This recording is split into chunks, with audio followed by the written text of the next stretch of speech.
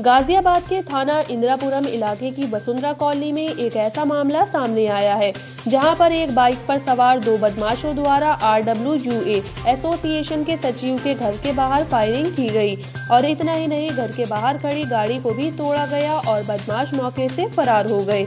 लेकिन उसके बाद आर डब्ल्यू यू ए का सचिव और उसका पूरा परिवार दहशत के कारण घर के अंदर ही रहने के लिए मजबूर रहे।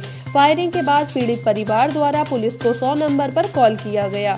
सूचना के आधार पर मौके पर पहुँची पुलिस ने पीड़ित परिवार को घर से बाहर निकाला और ये पूरी घटना वहाँ लगे सीसीटीवी कैमरे में कैद हो गई जिसके आधार पर थाने में पीड़ित परिवार द्वारा तहरीर भी दी गई है और सीसीटीवी फुटेज भी पुलिस को सौंप दी गई है।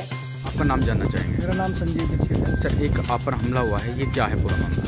ये जो हर्षा सिटी मॉल के जो मालिक है, हरीश कथुरिया और सुमित कथुरिया, उसका बेटा है। मैं- हर्षा सिटी एसोसिएशन का सचिव हूँ, इसीलिए मैं उनका दुश्मन हूँ सबसे बड़ा कि वो मुझे ही समझते हैं कि मैं दुश्मन हूँ उनका। पिछले तीन साल से उसका मेंटेनेंस और बिजली का बिल हम ही लोग जमा करते हैं। यही उसके अंदर सबसे बड़ा हमारे रोज का कारण है कि वो हमसे किलसता है वो कहता, हमें तो मेंटेनेंस वो उसने कल हमारे सारे के सारे काउंटर्स तोड़ दिए थे बाहर के। सबके साथ धक्का मुक्की हुई, मैं कल मौजूद नहीं था वहाँ पर और आज सुबह ये हुआ है और उसने थाने में भी हमें धमकी दी उसकी भी रिकॉर्डिंग है हमारे पास। जी जी। आज क्या सुबह आपने क्या देखा? क्या हुआ सुबह? सुबह हमने देखा कि दो लड़के आए यहाँ पे। उन्होंने हाथ में पिस्टल दिया क्या मैं नहीं कह सकता क्या था लेकिन उन्होंने गोली चलाई और मेरी गाड़ी का शीशा तोड़ दिया। मेरा भतीजा इस छज्जे पे आया ऊपर इस वाले छज्जे पे। उसने पूछा कौन है कौन है? उन्होंने नीचे आ नीचे बताएँगे तुझे नीचे बताएँगे आके।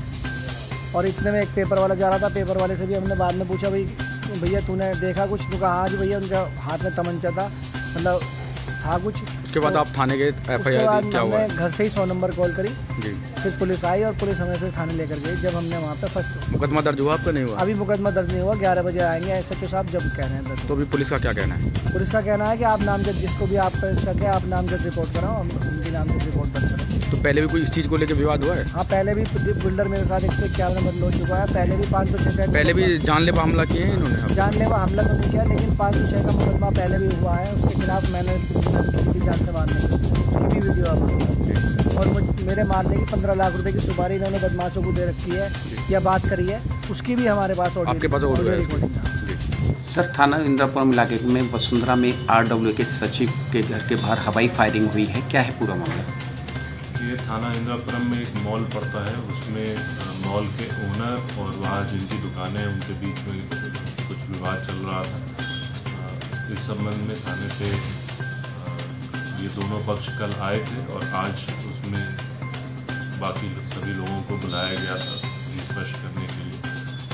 इसी बीच में जो दुकान के मालिक हैं, उनके घर के सामने आज सुबह सीसीटीवी फुटेज एक मिला है जिसमें कि दो बदमाश आए और उनके द्वारा फायरिंग की गई, हवाई फायरिंग उनके द्वारा की गई। तो इस संबंध में थाने पर मुकदमा दर्ज कर लिया गया है और थाने की टीम को लगाए लगाया गया है इसमें कि जल्द से जल्द जो भी इस घटना में शामिल हैं, उनकी गिरफ्तारी करें।